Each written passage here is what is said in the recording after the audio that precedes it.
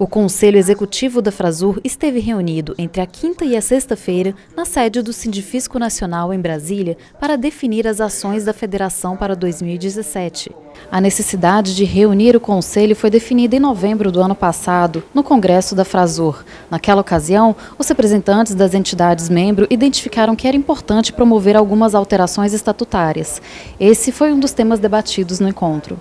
Após um episódio de cisão entre sindicatos, o objetivo era afinar o texto para resguardar a harmonia entre os membros. Nós entendemos que separar, a separação entre sindicatos é, não agrega valor para o filiado. Então, nossa reunião foi convocada especificamente para tratar deste tema.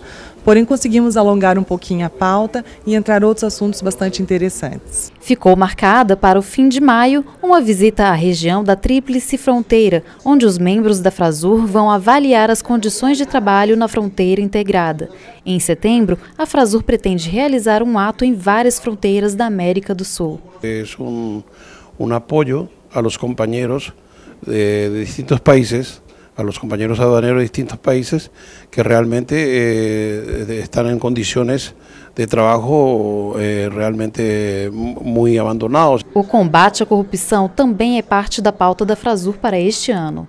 Queremos ser protagonistas em, em colaborar com as autoridades para desmantelar todos os casos de corrupção que se gestan em cada um de nossos países.